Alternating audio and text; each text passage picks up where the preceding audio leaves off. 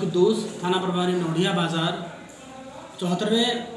स्वतंत्रता दिवस के अवसर पर मैं समस्त भारतवासी एवं हमारे नोडिया बाज़ार प्रखंड के सभी आमजनों, बुद्धिजीवी और समस्त यहाँ के निवासियों को बहुत बहुत बहुत हार्दिक बधाई देता हूँ और कामना करता हूँ कि इस वर्ष,